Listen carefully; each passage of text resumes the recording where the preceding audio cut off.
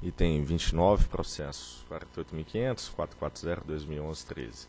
Pedido de reconsideração interposto pela Frente de Defesa dos Consumidores de Energia Elétrica em face da Resolução Normativa 610 de 2014, que regulamenta as modalidades de pré-pagamento e pós-pagamento eletrônico de energia. Diretor-relator, doutor José Jurosa. Na reunião pública ordinária de 1 de 4 de 2014, a diretoria aprovou a Resolução 610, é, que regulamentou as modalidades de pré- e pós-pagamento eletrônico de energia elétrica.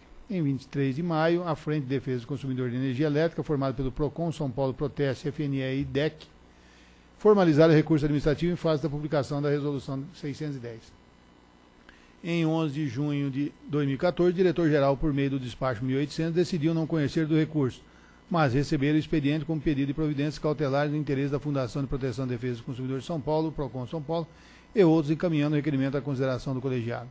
E no sorteio público ordinário realizado em junho, 2 de junho de 14, o processo veio à minha relatoria.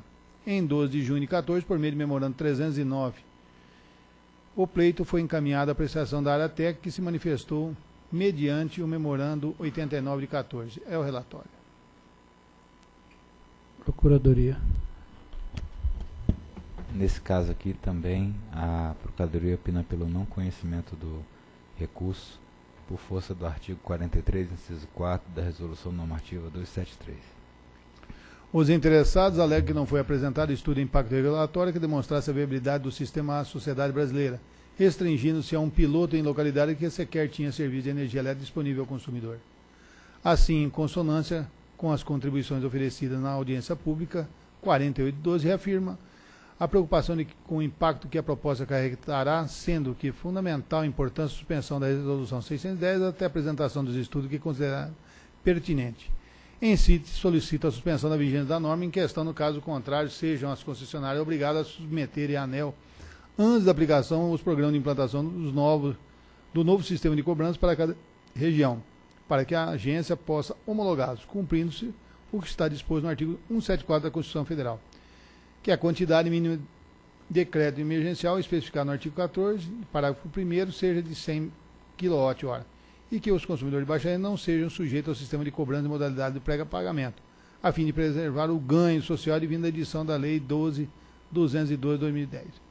Em estado a manifestar a respeito dos aspectos supramencionados, a SRC apresentou as suas razões acerca da pretensa imposição da obrigatoriedade das concessionárias em submeter a programa de implementação da nova modalidade de faturamento para homologação da ANEL, esclarecemos que os parâmetros necessários para essa implementação se encontram dispostos na, na resolução 610 e ao, ao ver da, da superintendência a criação de mecanismos supervenientes de, é desnecessário. Isto sim, afrontaria a Constituição Federal no seu artigo 37, pois estaria em flagrante oposição ao princípio da eficiência. E e sobre a quantidade mínima do crédito de emergência, fixado em 20 kWh. Na referida resolução e pleiteado um orçamento para 100, cabe destacar que o consumo médio mensal da residência no Brasil é de 169 kWh. E entre os consumidores beneficiados da tarifa social de energia elétrica, ou seja, baixa renda, é de 109 kWh. Portanto, não há razoabilidade em estabelecer um montante de 100 kWh a título de crédito emergencial. Ademais, a experiência internacional demonstra que o pré-pagamento é utilizado em geral por consumidores que efetuaram efetuam em torno de 7 compras de crédito ao mês, portanto, em pequenas quantidades. Ao se estabelecer uma aquisição de 100 kWh a título emergencial, poder-se ia ter o efeito negativo, pois o consumidor poderia se sentir inibido a assumir uma dívida desse porte, evitando o crédito emergencial, ou caso ele utilizasse desse expediente, poderia ter dificuldade em quitar esse montante para aquisição de novos créditos. Por fim, esclarecemos que os consumidores beneficiários da tarifa social de energia elétrica não terão qualquer prejuízo em relação aos direitos estabelecidos na legislação. Lembrando que, caso a distribuidora ofereça serviço, a opção é de livre escolha do consumidor, com a garantia de retorno ao sistema de faturamento convencional a qualquer momento e a preservação dos descontos tarifários estabelecidos em lei. Além das razões apresentadas pela área técnica, que se contrapõem ao mérito do pleito, há um óbvio insuperável, pois não é cabível conhecer do recurso contra o ato normativo em caráter geral e abstrato, editado pela agência, nos termos do artigo 43, inciso 4 da resolução 273. E do exposto, conclui pela impossibilidade do aproveitamento das propostas apresentadas pela Frente de Defesa dos Consumidores de Energia Elétrica.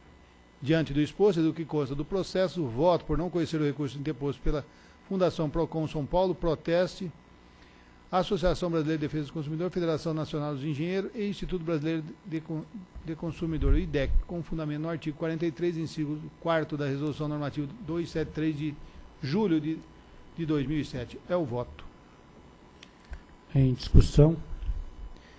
Aqui só que me chama a atenção é, além dos órgãos de defesa do consumidor, absolutamente normal, a Federação Nacional dos Engenheiros. É, pois é. Parece que aqui está um pouco deslocado aqui, o é. mas enfim, é legítimo, faz parte. Em votação. Eu voto com o relator. Também voto com o relator. Também voto com o relator. Proclamo que a júri decidiu por não conhecer do recurso interposto pela Fundação PROCON São Paulo, Proteste, Associação Brasileira de Defesa do Consumidor, Federação Nacional dos Engenheiros e Instituto Brasileiro de Defesa do Consumidor, IDEC, com fundamento no que dispõe a Resolução Normativa 273 de 2007. Próximo.